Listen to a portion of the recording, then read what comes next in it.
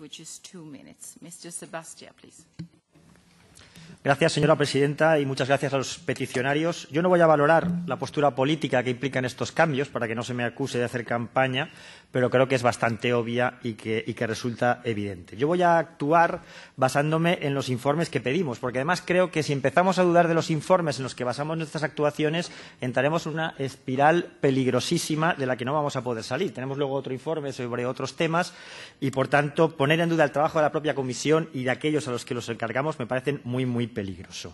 El informe deja eh, bastante claro que las decisiones del Gobierno español sobre el autoconsumo, el llamado impuesto al sol, yo utilizo esa expresión porque la leí en el muy izquierdista semanario americano The Economist, pues eh, ese impuesto deteriora el clima de inversiones para las renovables en España cuando lo que la Comisión está pidiendo es que se mejore el clima de inversiones para poder cumplir los objetivos 2020.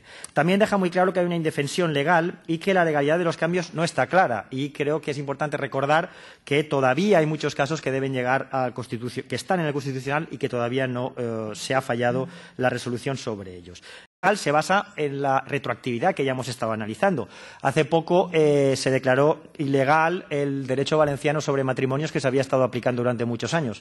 Si le damos a la retroactividad nos encontraremos con miles de parejas que de repente ya no están casadas. No quiero ni pensar si se les ocurre esto a los representantes del actual gobierno español. También nos dice el informe que estas medidas han, creado, uh, han provocado la pérdida de eh, miles de puestos de trabajo.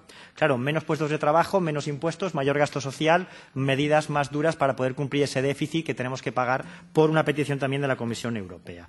Finalmente, la Comisión nos dice que los Estados tienen libertad para decidir cómo respaldan a las renovables pero deben respaldarlas. Y en este caso es obvio que lo que están haciendo es ponerle trabas. Solo acabo diciendo que pensemos en el efecto eh, contagio que podría tener esta, este tipo de actividades, este tipo de decisiones legales en el resto de países de la Unión Europea. Imaginemos que Alemania decidiera aplicar una cosa parecida, el caos en el que entraría esta Unión Europea nuestra, que tan maltrecha está. Creo, por tanto, que por responsabilidad esta comisión debe mantener abierta la petición. Gracias.